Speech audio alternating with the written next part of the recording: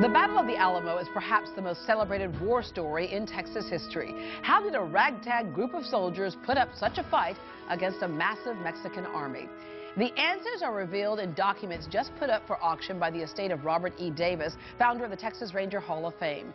Here to explain these documents and how you could own them from the R&R Auction House, please welcome Bobby Livingston. Hello.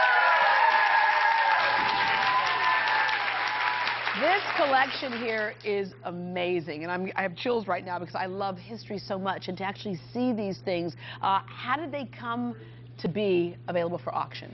Robert Davis owned a printing company called the Texian Press, and he put out history books of Texas. And he had a, a fraternity of, of, paper traders that he traded things with, and he was able to procure some incredible documents, rare yeah. ones that are historically significant, have not been on the market in a generation or two. Uh, this is the first time they've really been seen. So yeah. they reveal new information. This first one here has to do with the Alamo, and you can travel around the world, and people will say, where are you from? And you could say Dallas, Houston, you could say Austin, wherever they go, oh, the Alamo. They, they all know about the Alamo. That, that's right. So. And this one is written by the commander of the Alamo, William Barret Travis, who, of course, you know, is famous mm -hmm. for the uh, uh, legend of drawing the line in the sand. Here, uh, he's writing about uh, 682 feet of walnut scantling now in use in the, in the Alamo for cannon platforms. Wow, so this, this, happened, he wrote this in the Alamo. That's correct. That's correct. And he's giving it to a, a receipt to a local Tejano shopkeeper who gave him the wood, 50 beams of black walnut, uh, and he wanted to make sure the shopkeeper got paid because he knew Santa Anna was coming, the, the government was coming to squash them. So uh, this was an, uh, basically an IOU, but it's a, a, a powerful mythic document that uh, sheds new light onto the Alamo. Incredible yeah, stuff. and amazing that it's still around. Yes yeah, in, in, great condition. There is another one that Travis wrote the day before, February 20th, 1836. Santa Anna shows up on the 23rd. This one is for the last supplies into the Alamo. Mm. Here, look, you, get, you have 640 pounds of uh, coffee, 370 pounds of tobacco, 25 the two pounds. important things that keep you going there, huh? yep. 25 pounds of gunpowder and three bars of lead. And look, Travis at the bottom says, now uh, uh, has been delivered to this garrison, William Barret Travis, Lieutenant Commander. So this is the last stuff that the men had. And they had they went 13 days with very little supplies. So we now know they had coffee yeah. and, and tobacco. they had Starbucks and they had yeah okay. So and when you know I mentioned that these are still around. Part of the reason why they're still around is tremendous care and how they're handled. We have our gloves on here because we don't want to the oils can destroy and break down this paper. That's why I'm so amazed that it, people had the, the forethought to keep them as uh, safe as possible. That, that's right. We we all we do is sell manuscripts and documents and we take great care. We've been doing it for 30 years years mm -hmm. every month. And this is, in, in 30 years, this is the first Jim Bowie document oh. we've ever had. Uh, and it's an amazing, yeah, look at the flourish. Cool. Look at his signature. Is that not the, the, the coolest uh, signature? The inventor of the Bowie knife. Uh, just just incredibly rare, probably a six-figure document. Oh, wow, and this amazing handwriting that they had back then, and they, I guess they used the ink fountain pens. The, that's the, right. Yeah. Right. The the quill. Yeah, quill pens. Yes. Right. Uh, this, I wanted to show you, this is, uh, this is Santa Anna's actual field commands to his second-in-command, Filisola, to invade Texas. Uh, oh, my gosh. In here, uh, he talks about uh, invading Texas, and he predicts that the rebels are going to fortify the mission. And uh, he also gives a first-hand report here of when he gets to San Antonio and how Travis fires a cannon at him yeah. instantly. so it's a, an incredible, uh, here you see February uh, 1836. Yeah, and you can also see where he spilled some of his coffee. all that coffee that came in. This is something else. Okay, what about our it's next document here? Uh, this is also a Santa Anna document. Most people don't know that after he left power in Mexico, he moved to New York City and lived there in the 1860s. New York City? Yeah, he lived on Staten Island. Can yeah. you imagine? This stuff's made in New York City. So uh, he, he uh, tried to hire uh, former Union soldiers to reinvade because he wanted to uh, get his power back. So this is an, a, a, great uh, document. Here's his signature down here, Santa Anna.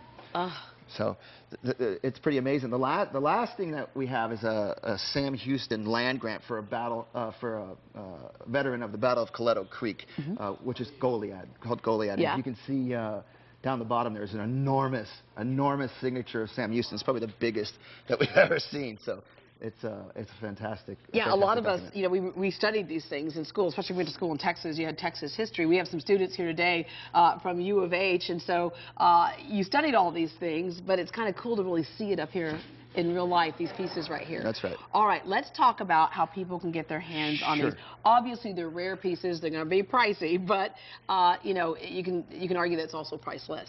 Sure. We, we've got about 234 uh, different uh, items on, on sale at our website at rr rrauction.com, and things will start at $100 and go to six figures. So there is, but the, there is stuff for Texas history at a reasonable price. And if they, they register uh, to bid, they get a free catalog, and uh, it goes uh, from November 10th to the 17th. Okay. So, uh, So you just basically you kind of go in and, and you bid, check your bid, rebid, check your bid, and, and just see it's, where it it's an eBay style auction. Yeah. We're a licensed bonded auction house in New Hampshire, but it is a timed auction. This is really, really cool. So you run across a lot of things being an auction house. Um, what are some of the most amazing things that, that you've seen? And what would you say to someone who says, mm, that's going to cost a chunk of change, but One of, one of the other things we do is we work with the astronauts, uh, some from, some from Texas, uh, and we auction some of the things that have been to outer space. So when you get to hang out with those guys and talk about them being on the moon, uh, it's pretty exciting. A part of history as well. So, but we also get to see uh, letters from Albert Einstein, Abraham Lincoln, uh, Thomas Jefferson, uh, all the greats of history. That's what we specialize in. We specialize in documents and rare letters. Yeah, and the, and the thing is, I think especially when we come into times that we are right now, where people are feeling a little uneasy, a little threatened, we uh, get nostalgic about our past because what it tells us when you look at something about the Alamo, they believed in what they were doing and they fought to their death, and so it's kind of that stuff that we're made of as human beings, and that is whatever challenges you have coming up. These things are the reminders that whatever you're going through, someone's been through it before and made it through. That's right. Tr- Travis and all the, the men that were slaughtered at the Alamo believed in liberty and democracy, and the government had taken away their rights. And so they gathered there at the Alamo and decided to fight the federal government for their rights, what had been promised them, and, the, and uh, they gave their lives in the name of liberty. And that's what's so eloquent and great about Travis and the, and the fallen Yeah, at the Alamo. And, and yeah, in that sense, they won. And that's why that story is so legendary today. We always say, remember the Alamo. Right. All right, the Texas uh, and Western Autograph and Artifact Auction starts November 10th and runs through the 17th. It's an online auction, as we mentioned, and we put a link to it at greatdayhouston.com. And again, that website is. it's rrauction.com, and we're in Amherst, New Hampshire. All right, thank you very much. Coming up, how one determined Texan made sure our iconic Longhorns would live on forever. We'll take you inside the museum that preserves their unique place in Texas history after the break.